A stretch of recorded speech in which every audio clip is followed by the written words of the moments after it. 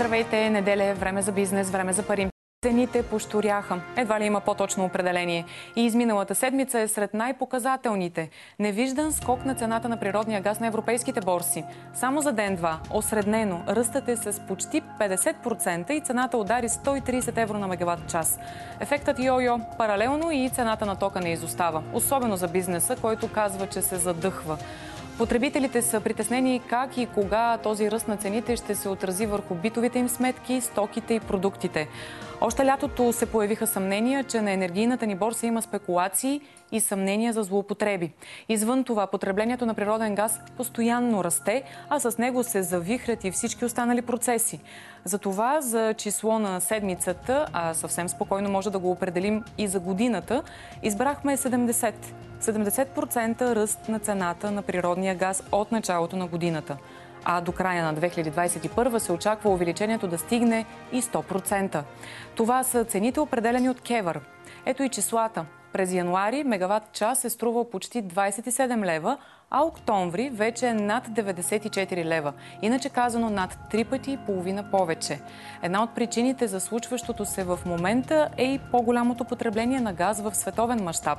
Процес започнал още преди COVID. Данните на Международната агенция по енергетика показват, че от 2009 до сега, до 2020, използваме с 30% повече газ.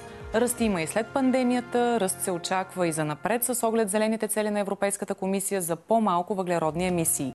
Кои индустрии са най-силно ударени в България и има ли наистина манипулации на енергийната борса? Следва разговор с председателя на Българската стопанска камера Добри Митрев.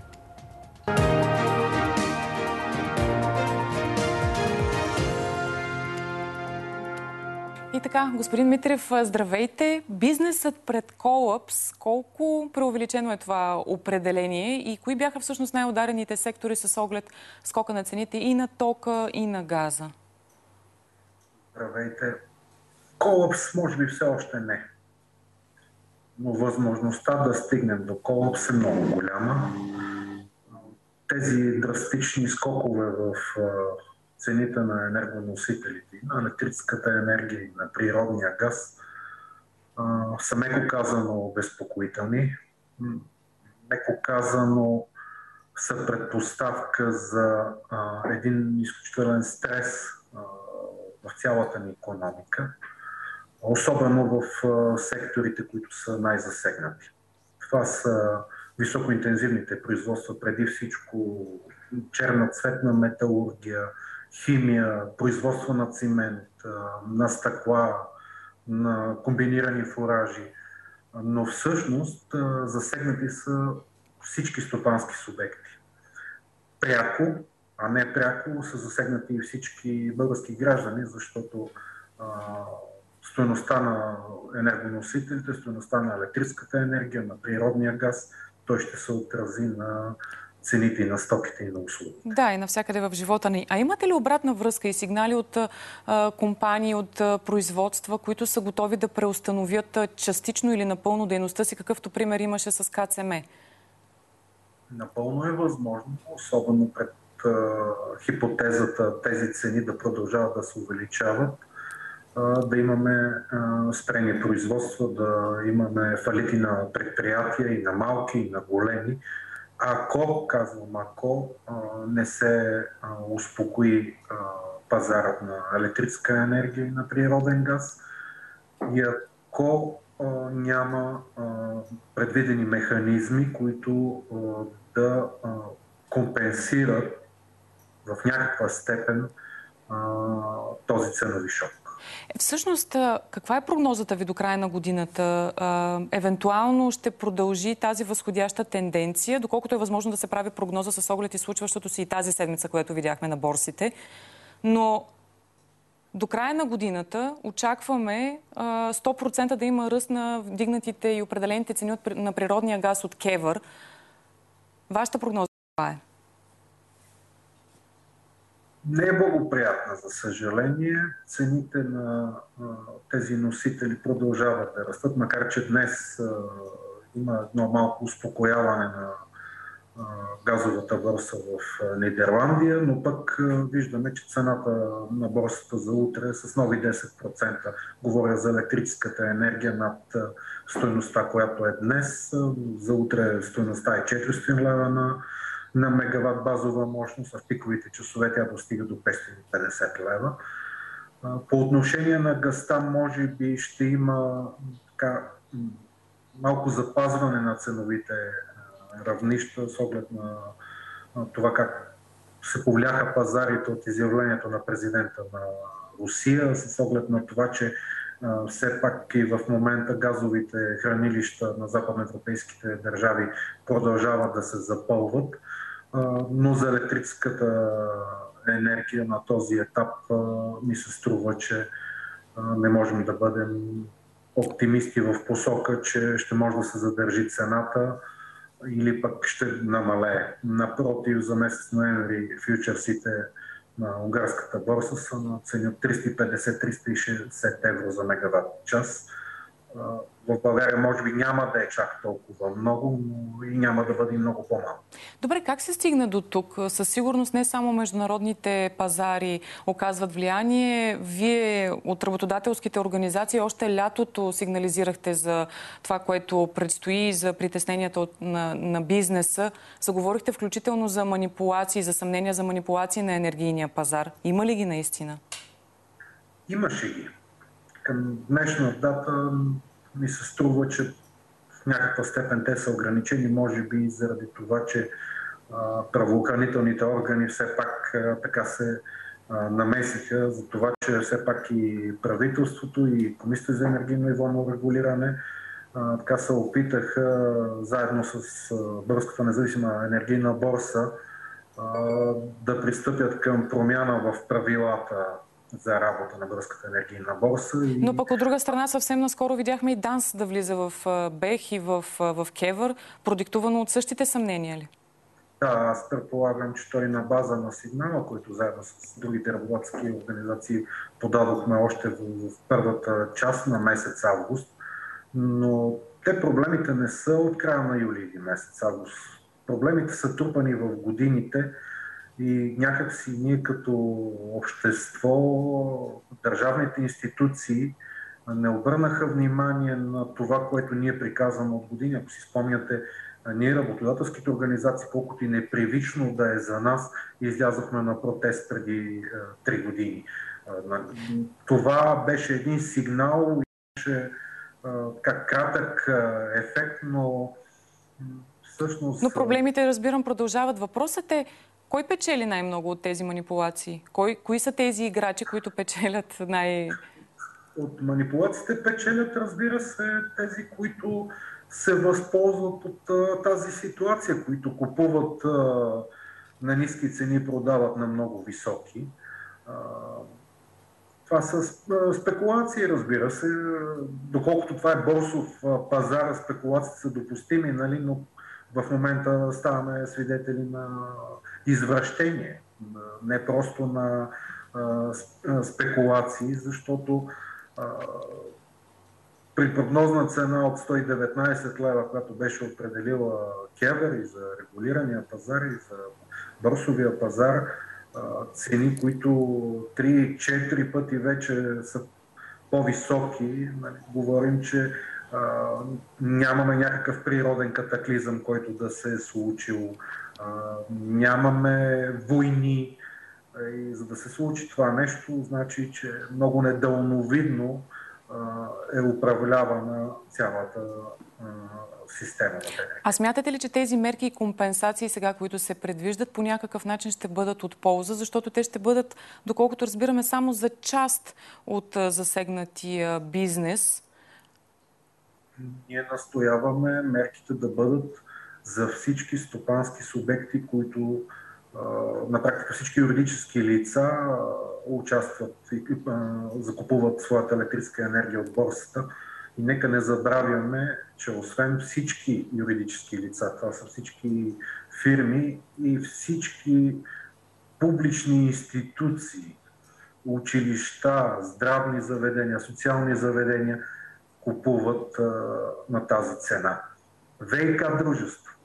Да, това ще натежи допълнително и на общинските бюджети с... Сега дружествата, особено тези, в които водата помпено, с, където се използва електрическа енергия за нейния добив, там как ще издържат, не знам. Ами, електротранспорта. Ще имате ли допълнителни? Да. В момента при тези цени на електрическата енергия и при вече утвърдени цени на техните билети, аз предполагам, че те са на ръба на фалита. Имате ли, ще имате ли по-скоро и допълнителни изисквания след време, ако, така, ако не усетите всъщност някаква, някакво подобряване на ситуацията в следващите седмици? Било той с тези мерки? Е, разбира се, ние сме непрекъснато в диалог и с Министерство на енергетиката, и с представители на българското правителство, но ние очакваме с нетърпение България в края на следващия месец да има парламент, работещ парламент, да има редовен кабинет, който незабавно да се занимаят с тежките проблеми, които имаме. Да ви изведе извън рамките на България, смятате ли, че всички тези зелени а, цели, които Европейската комисия си постави, зелената сделка и зеления пакт, всъщност по някакъв начин ще се обесмислят в следващите една-две години, тъй като с а, този ръст на цената на природния газ, а, просто реално погледнато няма да успеят да се реализират част от целите? аз не мисля, че трябва да обезмисляме целите. Целите са много хубави всички искаме поколенията след нас да живеят в чиста природа, на чиста планета, да дишат чист въздух. Тоест, не се обезмислят целите, но... Но ще се отложи да, във времето, може би. Трябва да преосмислим методите, средствата, графиците ни, времевия хоризонт, в който нещата да се случат по възможно най- безболезнен за обществото начин. Това имам предвид с оглед, знаете, и въглишните ни централи и Маришкия басейн. Там се предвижда тази газова а, централа да се изгради. Сега ли е най-добрият момент да го планираме и да затворим въглишните ни централи и да се пренасочим към газ? Ние трябва да мислим за альтернативни източници. Но сега ли е моментът? Сега е моментът, защото така ни е наложил Европейската комисия, че точно в този момент ние трябва да вземем решение и да обявим конкретен срок, в който ние ще затворим въглишните си централи. От такава гледна точка този момент е настъпил заради това, че ние много години не се подготвяхме за, за сегашния момент. Но това не значи, че трябва да до край да отлагаме тежките решения. Но трябва да преосмислим времевите графици, хоризонтът. От това, което вие сте запознат в дълбочина в, в темата, доколко реалистично е между след 2035 година да поставяме срок за затварянето на централите? Ами трябва да поставим. Края на крещата ние сме част от зелената сделка и ние трябва, ако искаме да получим средства по националния план за възстановяване и устойчивост, ние трябва да посочим, разбира се, дата. Тази дата може да не е 35-та година. Аз а, мисля, че и правителството мисли в посока а, за малко по-дълъг период, в който а, те да работят.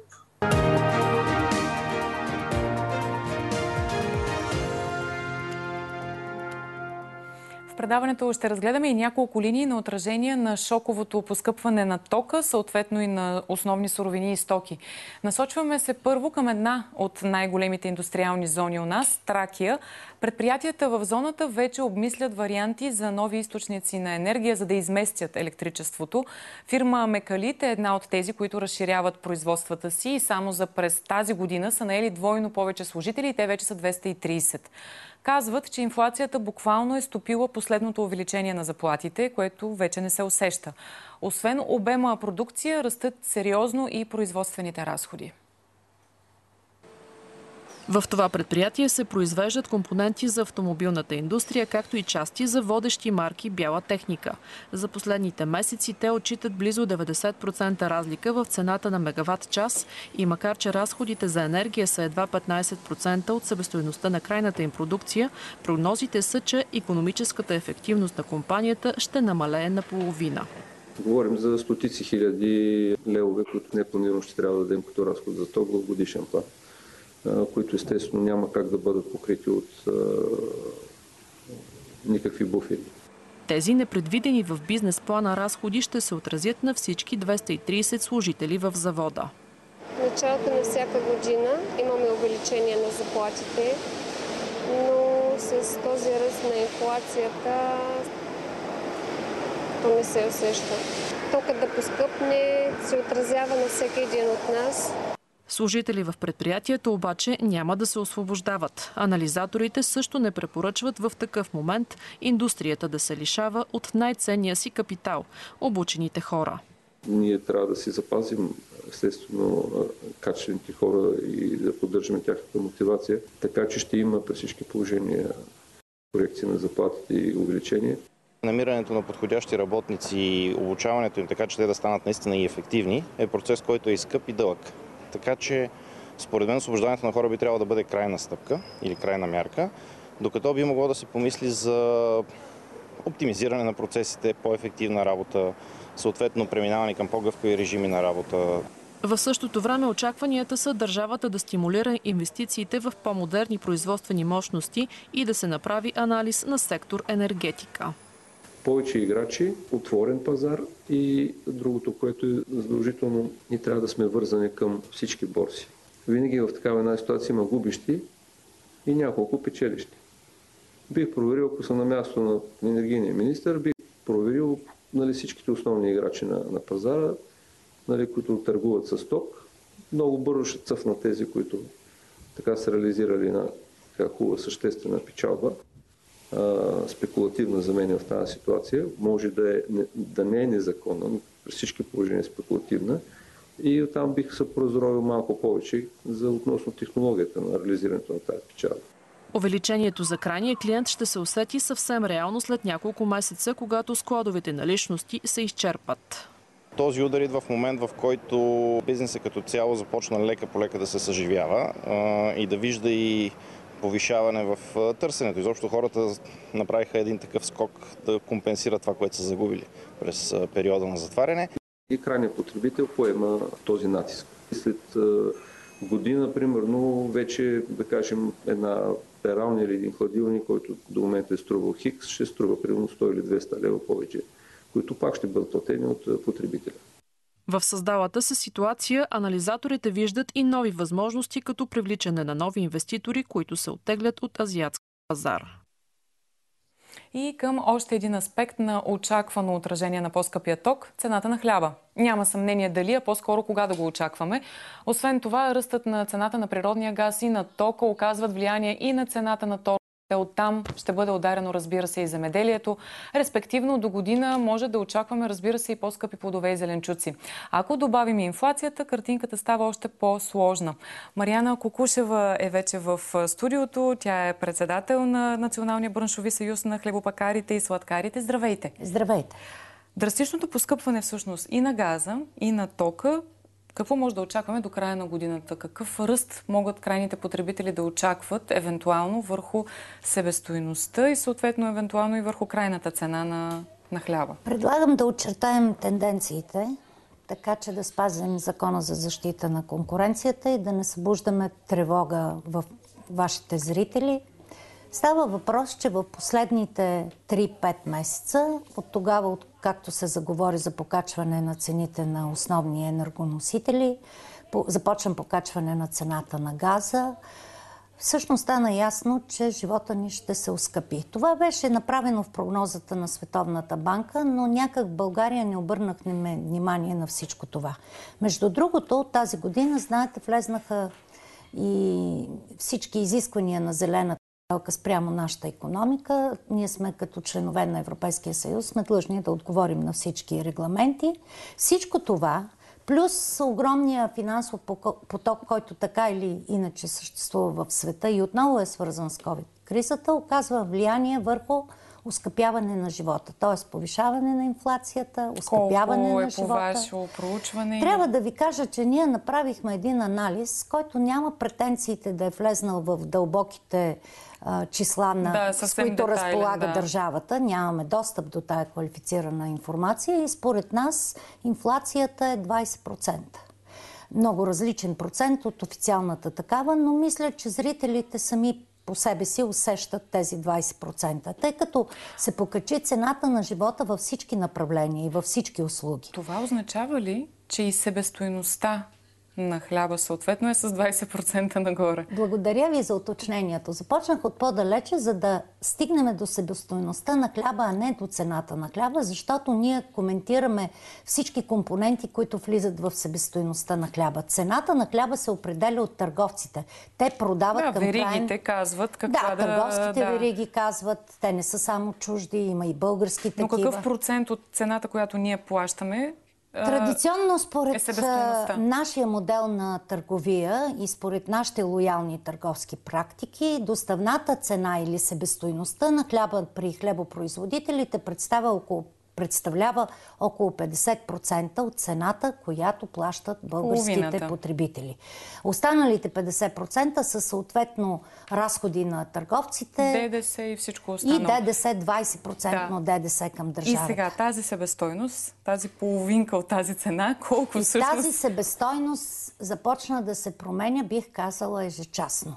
Същото наблюдаваме в последните няколко денонощия. Цената на енергията само за една година се покачи с 200%, но в последните няколко денонощия вече процентите са много повече. Наближават 250-260. Знаете, цената на мегаватт час стигна 500 лева. Може ли и коректно ли е да кажем, че с толкова около 20%, колкото казахте, че е поскъпването на... В никакъв случай. И ще обясна защо. А колко е? Колко е реално? Не мога да ви кажа, Да. ние имаме забрана да правим такава статистика. Това е чувствителна информация. Би трябвало тази статистика Но да се прави. има повишение, Но със да. сигурност и ако има възможност да се включат а, ваши зрители, те ще кажат определени а, цифри, но винаги говорим за стотинки. За стотинки, изразяващи се в едноцифрено число. Големия въпрос е какво правим с левовете, които заминават от бюджета на потребителя за изплащане на другите разходи. Вие в лично качество и от това, което наблюдавате, след нова година очаквате ли драстично тези стотинки да нараснат? Много е далечен периода след нова година. А трябва как се да ви движи цената на пшеницата на борсата? Цената на пшеницата към момента е с 45% по-висока спрямо цената на пшеницата миналата година по същото време. Освен това, към момента, говорим за борсови цени. Да. Ние оперираме на Черноморския басейн, имаме изключително добра реколта на пшеница, половината от нея е с високи хлебопекарни качества и обикновено въпросът е, като имаме толкова много, защо цената расте? Защото говорим за борсови цени. Търсенето в Черноморския басейн е обословено от две причини. Първо, се търсят основни хранителни суровини, повишено е търсенето в света и второ, Русия имаше трайно засушаване и въведе квоти за износа и това се отрази и започна търсене повече на българска пшеница и на останалите борсови играчи в А Черноморския изкупната басейн. цена как се е променила? Тоест... Изкупната цена също се промени още по време на жътва. Отново едно явление не наблюдавано от- у нас. По време на жътва цената на пшеницата се покачи с 30%.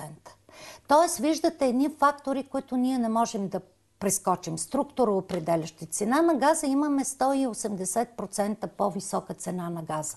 Цена на всички останали материали. На опаковките, които трябва да отговарят на изискванията на зелената стела. Имате ли вече сигнали към вас и като си говорите с ваши колеги за фирми, които и малки хлебопекарни или други, които са включително толкова притеснени, че са готови да преустановят дейността си? Много малки пекарни още след първия локдаун 2020 година не успяха да отворят. В момента по-скоро комуникираме с колегите и става ясно следното. Те оптимизират в момента а, своите човешки ресурси в посока съкръщаване на всеки който би могъл да бъде съкратен. Но за фалити все още не за може фалити е да рано се, да се да. говори, защото, знаете, това е една дълга економич... е, финансова операция, която не е въпрос на няколко дни. Така или иначе, обаче, очакваме, че това сито, което ще мине през цените на електроенергията, газа, петрола, имаме да догонваме там борсови цени на... в света, по отношение на цената на петрола в България, сами разбирате, че ситото, което ще мине, ще остави много по-малко бизнес оператори да работят реално Другото България. отражение, това, което си говорихме и с вас преди разговора тук в студиото, е с оглед вдигането на цените на торовете, където пак по борсови измерения. Изключително важен въпрос. Свързан... То ще удари всъщност най- най-много земеделието. Тоест до Земеделието. година... Да, Какво точно. се- Не се само до с- година. В момента В момента. есенниците. Земята се обработва с торове. Торовете Цената колко на газа... по, по ваши наблюдения са скочили? А по, по думи на моите колеги зърнопроизводителите, цената на торовете е скочила два пъти и половина. Към момента. Говорим все още, новите цени на газа не са се отразили в крайните фактури на покупване. Тоест, с една дума, тенденцията е за ускъпяване на живота. И точно за това направихме предложение Отправихме го към правителството и към економическите експерти да бъде въведена 9% на ДДС ставка на основните храни в България с идеята да се разпредели равномерно натиска върху джоба на потребителя, да се увеличи потреблението, оттам да тръгне и по-интензивно да се развива Но хранителната потребителя няма да усети тези 9%. Напротив, ще ги усети, защото цените за много дълъг период от време няма да продължат да се покачват. Тоест искате 9% ставка, за да задържите цените. Точно така. И в същото време в бизнеса ще остане един финансов ресурс, А има ли вече- с който ще се покачат доходите на заетите в хранителната и питайна промишленост. Имате ли разговори с. Министерството на финансите като Към разчети?